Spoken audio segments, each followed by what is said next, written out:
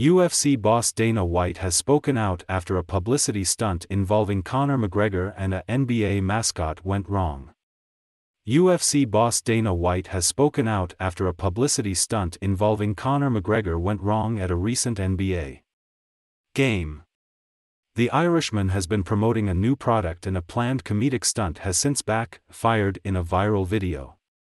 Attending Miami Heat's NBA Finals match against the Denver Nuggets, the former UFC champion appeared during a break to promote his new cryotherapy pain relief spray TIDL. Heat's mascot Bernie walked onto the court in oversized boxing gloves with the pair set to have a pretend fight. McGregor, however, hit the mascot a little too hard with a vicious left hook that sent him to the floor. If that wasn't enough, the strike was followed up with another hit while he was grounded.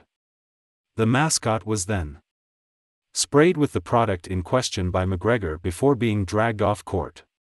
It has since been reported by the Athletic that the person inside of the suit was taken to an emergency room following the incident.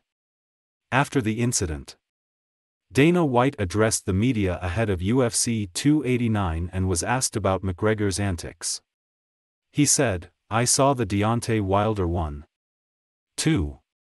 What's up with mascots wanting to get punched in the face by professional fighters? What do you expect? I mean, what are those mascot things made out of?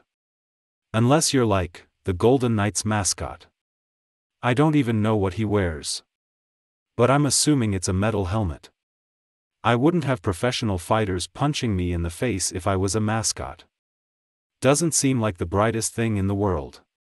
McGregor's next bout is against Michael Chandler later in the year. The fight will be the 34-year-old's first since 2021 where he lost against Dustin Poirier via a technical knockout in round 1. It was later discovered that McGregor had a broken tibia making him unable to continue fighting. The injury resulted in him taking a break from fighting. Details of McGregor's next fight are still being finalized, however the two have been filming the most recent series of The Ultimate Fighter. The show sees rival fighters turn their hand to coaching before taking each other on in the octagon.